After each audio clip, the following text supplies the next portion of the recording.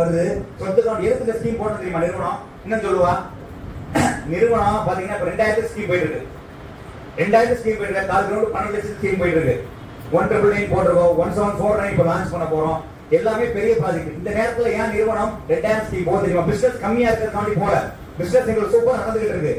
என்ன காரணம்னா இந்த தனிங்கிற வாசப்படியில தனிங்கிற வாசப்படிக்குள்ள நிறைய பேர் இடம் வாங்கணும்னு ஆசைப்படுறாங்களோ வாங்க முடியல. அவங்களோட கனவா மட்டும் போயிருது. நினைவா ஆக மாட்டேங்குது. நம்மளும் இடம் வாங்கணும். நமக்கு இல்லைனாலும் நம்ம பையனுக்காச்சும் ஒரு இடம் வாங்கணும். எனக்கு இல்லைனா என் பையனாச்சும் ஒரு வீடு வாங்கணும். எத்தனையோ ஏழை மக்கள் எத்தனையோ பேரு இடம் வாங்கணும் அந்த கற்பனையிலே போயிருது அவங்களுக்கு அந்த அந்த கேம் விளையாட தெரியல அவங்கள்ட்ட என்ன கையில் நம்மள்ட்ட காசு தான் வாங்கிடலாமே? அப்படி கிடையாது. நம்ம தான் முதல் படி எடுத்து வைக்கணும். அந்த படி எடுத்து வைக்கிறது அந்த ரெண்டாயிரம் வாசலை திறந்து வைக்கணும். எப்படி சூப்பர் எப்படி உங்களுக்கு மாலுக்குள்ள ஃப்ரீயா விடுறான்? மாலுக்குள்ள எப்படி விடுறான்? மாலுக்குள்ள உள்ள நுழையிறீங்க. உள்ள நுழையிறப்போ உங்களுக்கு எதுக்கு உள்ள நுழைஞ்சா ரெண்டு வாட்டி மூணு வாட்டி மாலுக்குள்ள போறப்ப அது ஒரு பொருள் பிடிக்கும் அந்த பொருள் பார்த்து